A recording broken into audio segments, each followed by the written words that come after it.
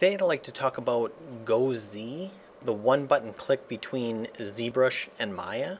So once again, you can see here I'm in ZBrush.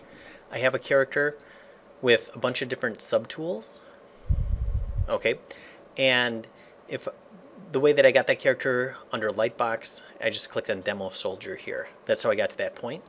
Um, but, you know, if I didn't have GoZ, I'd have to kind of export each one of these one at a time as an OBJ, bring it into Maya, and then if I wanted to work, go back, I feel like the process would even be longer. So let's take a look at that. And this is the button that I'm referring to here. It's called Go Z.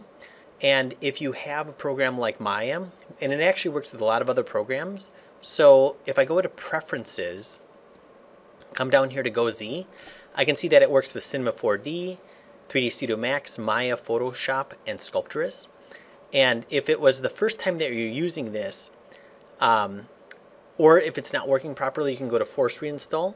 But if it's the first time using this, you can go to Path to Maya, and then you can choose, hey, this is the Maya that I'm currently using. Because if you were using multiple versions of Maya, you would have to know which one you want to go to. So I'm just going to go ahead and click on that. And if you're, um, sometimes the first time you do it, it's going to say, um, you know, force reinstall, and then it says update all paths. It might say, hey, where's the path to Cinema 4D? And if you don't have it installed, go ahead and click, you know, not installed. Even if I have it installed, like let's say if I have Photoshop installed, but I don't want to use it, I'm just going to say not installed. The, the thing is that's important is that whatever program you want to use it with, that that you find the directory for that, and now it knows to use it. The other thing that it's going to do is it's going to install a file into Maya. Okay, you can see here that it automatically installed something called GoZ, GoZBrush, and there's a GoZ button here in the shelf. So it automatically installed that. Um, and if not, after you kind of tell it where it is, um, the next time you open Maya, um, it may say, hey, do you want to install that? Just go ahead and click OK, and now it's installed. So that's how we're going to communicate back to ZBrush, and you'll see in a, in a second here. So with this character, um, if I want to send this to ZBrush, if I click on the Go Z button, um, and, and maybe what I'll do is I'm going to just have this one, um, if I can, I'm just going to kind of have this one, whoa, let's close all that. Um, there we go. And then I'm going to have this right next to it. Okay. And let's close that. And let's close that. Now, if I click GoZ and I'll just go ahead and hit continue, it's going to send it automatically to Maya. And even if I didn't have Maya open, it would have automatically launched Maya for me. Okay, great. I didn't touch anything. You can see that it's right here. Um, and it's the level one mesh, or the lowest mesh, which is good.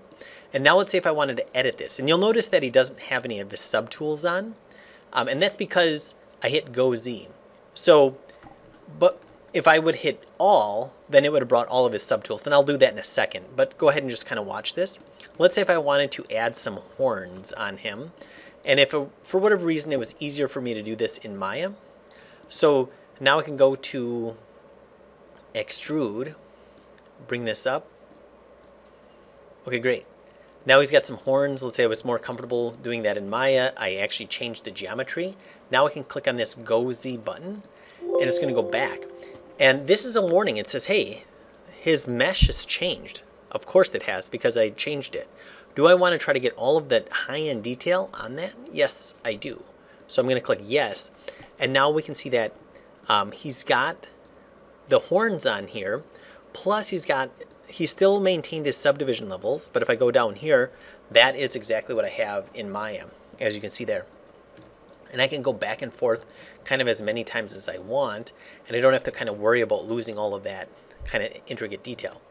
Now, if I want to um, bring all of his subtools, I could just hit all and that would bring all of these. So now if I hit all, continue, um, once again, I don't have to do anything. I can see that it's instantaneously, um, almost instantaneously in Maya right here. And now I could, um, you know, make some adjustments if I wanted to. Maybe I want, um, I don't know, some spikes on this or something. Um, obviously, you know, the sky's kind of the limit of whatever you want to do. And maybe over here as well. Could I do this in ZBrush? Absolutely. But I feel like, maybe I feel like I've got more control on doing it in Maya. So, um, let's see, extrude, there we go. Okay, and now maybe I want to select it all, and I'm going to send it back. Go ZBrush, yes, awesome. And I can see that, um, you know, maybe it looks a little weird here if I go to the vest. Um, and now if I go to geometry, you know, bring this down, there it is. So when I divide that up, of course it's going to look a little weird. Uh, I might have to kind of, you know, kind of baby that, hold down shift and kind of smooth it out, you know, kind of figure out exactly what I'm doing there. But um, I'll just put it to level one here. And if I wanted to create pieces as well, so what I could do is I could say, um, even here, maybe I create um, an inner tube, you know, for back of lack of better idea here. And now let's try this. So if I click on this, go Z,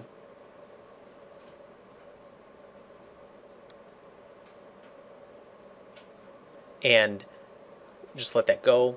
And then I should have a new subtool of the, um, you know, of the inner tube.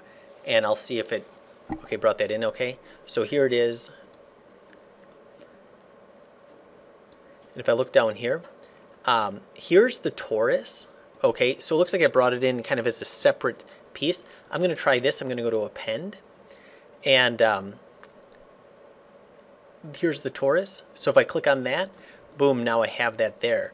And you can see that um, this, once again, this translation between Maya and um, ZBrush is made really simple with something called the GoZ.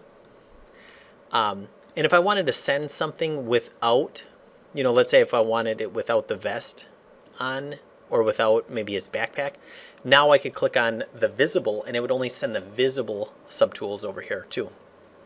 What's also neat about the GoZ properties, if this guy had a texture on with, you know, color information and he was UV'd, that, that color information would automatically be brought over here and applied in Maya.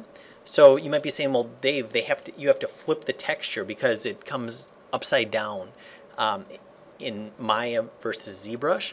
And that's correct, but it automatically flips it for you. It automatically creates a shader. It automatically plugs in it into the right channels and that type of thing.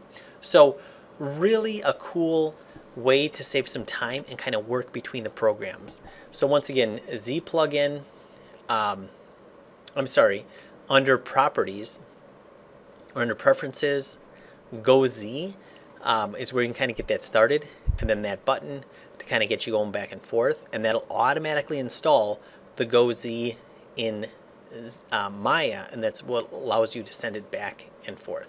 So hopefully that was helpful. Let me know if you have any questions.